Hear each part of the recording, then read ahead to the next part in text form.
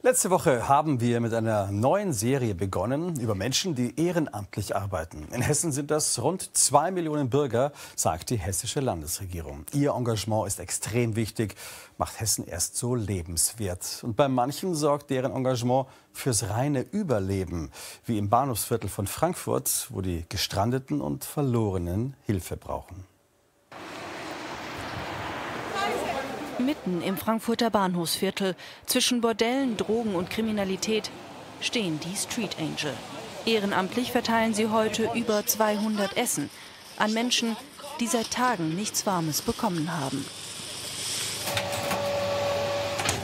Ähm, es gibt auf jeden Fall Lasagne. Ich habe Gemüse gemacht für entweder die noch gerne Gemüse wollen oder die Vegetarier. Da denken wir auch dran. Die Lasagne ist natürlich auch halal für die, die kein Schwein essen. Gleich geht's los. Gleich werden hier hunderte Bedürftige Hilfe suchen. Stunden vorher. Street Angel Initiator Sabi Uschki holt gemeinsam mit seiner Kollegin die Lasagne aus einer Großküche in Frankfurt ab. Seit 8 Uhr morgens wird daran gekocht. Das Essen ist eine Spende von einem italienischen Restaurant. 33 Kilo Fleisch, 230 Portionen, 13 Bleche. Heute sollen alle satt werden. Ja. Sabi Uschki hilft Obdachlosen seit über 20 Jahren, nachdem er einen Obdachlosen gesehen hatte, der vor seinen Augen aus der Mülltonne gegessen hat. Der hat da reingegriffen und ich konnte es ja sehen, weil in dem Moment habe ich hingeguckt und sofort im Mund und reingebissen und gegessen und runtergeschluckt. Und da ist mir im, im wahrsten Sinne des Wortes eben die erste Gabel da im Halse stecken geblieben. Vor sechs Jahren gründete er den Verein Street Angel. Wie jeden Sonntag fährt er auch heute ins Frankfurter Bahnhofsviertel. Da kommt jetzt eine Mischung aus allem. Alkoholiker, Junkies und Bedürftige, die, die eben kein Suchtproblem haben vielleicht, ja? Ähm, die einfach Hunger haben. Um kurz nach halb sieben geht es dann los. Die Ehrenamtlichen verteilen Tee, Gemüse, kleine Pakete mit Brötchen und Obst. Und natürlich die gespendete Lasagne. Alle machen das hier in ihrer Freizeit, am Wochenende neben dem Job. Schmeckt wie bei Muttern. Tut das gut, was Warmes zu essen? Lecker. Die Leute zu sehen, dass die sich freuen, dass sie, dass sie sich freuen, was zu essen zu bekommen, uns zu sehen. Sie reden mit uns, sie sind einfach nur toll. Sie sind tolle Menschen.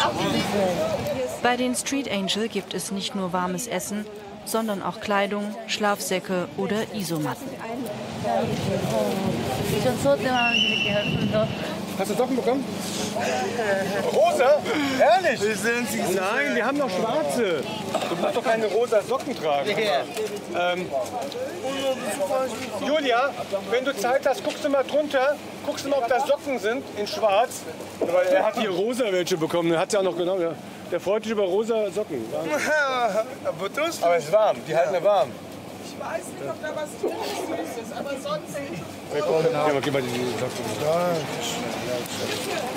Nicht nur die Bedürftigen haben ihre eigene Geschichte, sondern auch die Helfer. Julia kommt jede Woche aus Wiesbaden zum Helfen nach Frankfurt und hat dafür einen ganz bestimmten Grund.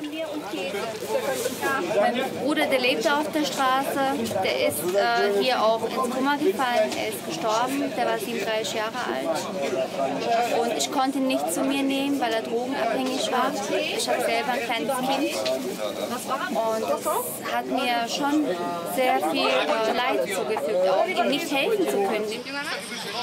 Ihrem Bruder konnte sie nicht helfen. Deshalb will sie heute für andere da sein, die in einer ähnlichen Situation sind. Währenddessen planen Sabi Uschki und sein ehrenamtlicher Lagerchef schon die nächste Lieferung. Die beiden kennen sich aus Kindheitstagen. Lange haben sie sich aus den Augen verloren, denn Vasi war selbst obdachlos. Halt. Problem mit der Ehefrau, Problem vielleicht auch auf der Arbeit und dann ist man ratzfatz, braucht man dann einen Joint mehr, dann kommt irgendeiner, der, guck mal, ich habe hier was, das lässt sich total abschlafen oder total aufputschend und ehe man sich versieht, andere Leute können damit umgehen, ich konnte es halt nicht und bin dann halt zehn Jahre lang abgestürzt, mein Leben verschwindet zehn Jahre lang. Vasi war drogenabhängig und lebte auch im Bahnhofsviertel. Mittlerweile hat er es geschafft. Er hat eine Wohnung, ist seit elf Jahren im Methadon-Programm und gibt heute zurück, was er damals selbst bekommen hat und bekommt dabei noch viel mehr. Die Gemeinschaft hier mit den Engeln, das Begrüßen, das Umarmen, hallo, wie geht's dir? Zwischendurch mal ein paar Notizen, ein paar Nachrichten, kommt ihr, was macht ihr? Kann irgendjemand mal das oder das machen? Ist doch toll. Und vor allen Dingen sind das die einzigen, die nichts von einem wollen. Die wollen ein Lächeln vielleicht und ein Dankeschön und sonst nichts. Und nicht mal das ist Zwang. Zwei Stunden später leert es sich langsam. 230 Portionen Lasagne und etliche geschmierte Brote haben die Street Angel heute ausgegeben. Selbstverständlich ist das nicht. Das weiß auch Sabi Uschki. Deshalb dankt er heute Julia mit einer Ehrenurkunde. Vielen Dank, dass du immer kommst und uns unterstützt. Deswegen Dankeschön. einmal Überraschung. Sehr, sehr gerne. Mitgliedsausweis, den musst du später unterschreiben, dass du dann bekommen hast. Wir machen noch ein Foto mit allen. Anstatt immer irgendwie nur ehrenamtlich äh, zu schuften, seine Freizeit dafür herzugeben. Und dann sehen die es als selbstverständlich. Und das soll bei mir eben nicht sein. Das ist keine Selbstverständlichkeit. Diese Zeit, die wir hier auf der Straße bringen, ist nicht selbstverständlich. Die Street Angel machen alles ehrenamtlich. Sie erhalten derzeit keine staatliche Unterstützung, nur Spenden. Am Sonntag werden sie wieder hier im Bahnhofsviertel sein, zur selben Zeit, an derselben Stelle, wie jede Woche, seit Jahren.